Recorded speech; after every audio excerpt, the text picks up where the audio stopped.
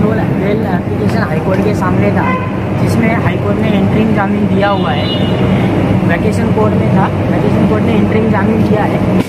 City police station के C R number चौहत्तर, दो हज़ार इक्कीस और सी आर नंबर पचहत्तर, दो हज़ार इक्कीस में मालेगांव शहर के नाम से जो है यूसुफ रियास इनका हाईकोर्ट के अंदर आज अटक पूर्व जामीन रखा गया था, जिसमें हाईकोर्ट ने उनको प्रोटेक्शन दिए और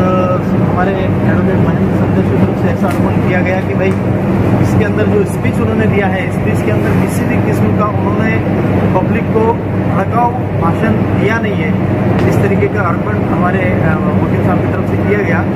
कोर्ट ने वो चीज़ कंसिडर करी और कंसिडर करके वो चीज़ कंसिडर करके कोर्ट ने जो एंटीसिपेटरी बिल में आज प्रोटेक्शन दिया हुआ है इसके अंदर हमारे साथ हमारे इफ्तार सेठ हाजी साहब शेख आसिफ साहब और बाकी जो भी लोग थे ये सभी लोगों ने इसमें खासी मदद की है और काउंट किया हुआ है। इफ्तार सेठ इस वक्त पे क्या कहना चाहेंगे? एक बड़ी खुशी का वक्त है। दो लोगों की बेल होने बाद आपके घर के परिवार के जो सबसे बड़े सदस्य यूसुफ सेठ मालेगांव शहर में एक नाम रखते हैं उनकी बेल हुई। क्या कहेंगे? ये तो अल्लाह का करम है कि आज यूसुफ सेठ की हो गई है।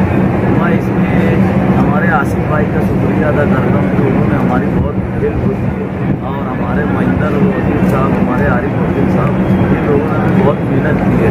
और बाकी रही बात, हम आगे जो और लोग हैं, जो जेल के अंदर हैं, इनके लिए भी कोशिश कर रहे हैं। इनके लिए भी कोशिश करके जल्द से जल्द ये भी बाहर आए।